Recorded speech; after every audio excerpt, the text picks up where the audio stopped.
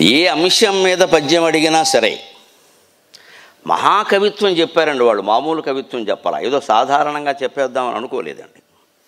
చీపురు కట్ట మీద పద్యం చెప్పమని అడిగారు ఒక శాతావధానంలో. ఏదో చిన్న తే తేటకీత పద్యమో కంద పద్యంలోనో నడిపించేసి చీపురెట్టు ఊడిచినట్టే పని మనుషులు చీపురెట్టు ఎలా ఊడుస్తారు? రైల్లో ఊడిచినట్టు ఊడుస్తారు. అలాగే చీపురు మీద పద్యం అంటే కంద పద్యం ఒకటి లాగించేయచ్చు అలాగా. చీపురు చేతను బట్టినా అని ఏదో చెప్పి అయిపోయింది చప్పట్లు కొట్టేస్తారు దానికి ఉంది అసలు అవగానే చప్పట్లు కొట్టేవాళ్ళు ఇప్పుడు సభలో ఉంటారు ఖచ్చితంగా. బాగున్నా బాగుండకపోయినా సంగీతం ఒకటి వింటూ ఉంటాయి ఇప్పుడు ఈ పాట బాగున్నా బాగుండకపోయినా అయ్యాక కొడతారు అంతే. మధ్యలో ఎప్పుడు కొట్టరు. అంటే అది అయ్యాక మొహమాటానికి కొట్టే చప్పట్లేదు అయితే ఇంకా ఆపేయమని కొట్టే చప్పట్లు కూడా కావచ్చు. అలా కాకుండా వాళ్ళు సీసపద్యం చెప్పారు చీపురు కట్ట మీద. ఒక చీపురు కాదు ఇవాళ తడిబట్ట పెట్టడం అనే విధానం ఒకటి ఉంది కదా. పెద్ద కుచ్చుల కర్ర ఒకటి పెట్టి పెడుతూ ఉంటారు కదా. దానికైతే ఇంకా బాగా అన్వయిస్తుందండి మలినతను బాపి నిర్మలత నిర్మలతనం నిర్మలతనం దగజేజ అల్ల గంగా నది అనగవచ్చు మలినతను బాపి నిర్మలతనం దగజేజ అల్ల గంగా నది అనగవచ్చు అఖిల ప్రదేశములందు తోచుట చేసి అల పరమాత్మయే అనగవచ్చు.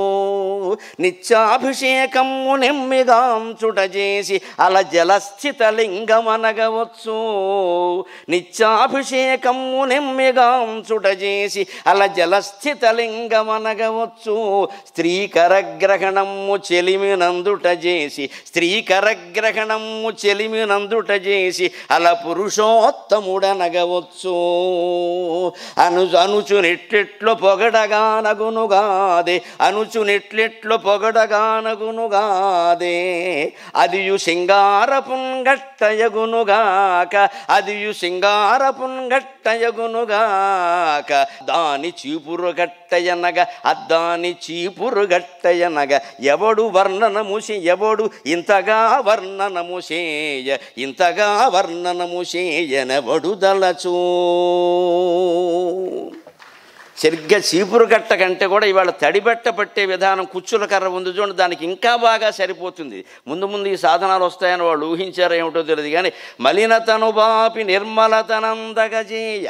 మలినత్వాన్ని పోగొట్టి నిర్మలత్వాన్ని ఇస్తుంది కాబట్టి అది గంగానత్వం సమానంట. అల్ల గంగా నది అనగవచ్చు. అంతేకాదు ఇంకో మాట చెబుతున్నారు. దానికి అనుగుణంగా సరిగ్గా ఏది ఇందులో పొగడతగానే అతిశయోక్తిగానే ఉండదు. సహజంగా ఉండేవే ఉంటాయన్నీ కూడా. అఖిల అఖిల ప్రదేశములందు దోచుట చేసి అలా పరమాత్మయే అనగవచ్చు. దాన్ని ఎక్కడ పెడతాం? అక్కడ పెడతాం? అడ్డంగా ఉందని పెడతాం? అన్ని గదుల్లోనూ పెడతాం. అన్ని గదులు ఊడుస్తాం కాబట్టి అన్ని చోట్ల ఉంటుంది కాబట్టి అది సాక్షాత్తు సర్వాంతర్యామి పరమాత్మతో సమానం అన్నారు. మనకి చీపురు కట్టను కూడా గౌరవించే సంస్కృతి ఉంది అవమానించక్కర్లేదు.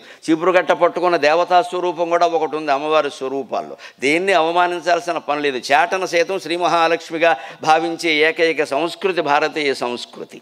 అవి పరిశోధ పరిశోధన చేస్తున్నాయి అందరినీ కూడా. అందుకని వాటినే గౌరవిస్తారు. దీన్ని పరమాత్మ అనవచ్చు అన్నారు. ఇంకా మాట నిత్యాభిషేకము నెమ్మిగాంచుట చేసి ఖచ్చితంగా దాన్ని బకెట్లో ముంచుతూ ఉంటారు తీస్తూ ఉంటారు ముంచుతూ ఉంటారు తీస్తూ ఉంటారు. నిత్యం అభిషేకం జరుగుతుంది కాబట్టి జంబుకేశ్వరంలో ఉండే జలలింగం ఇదే అన్నారు ఖచ్చితంగా అలా జలలింగ జ అలా జలస్థితలింగం అనగవచ్చు.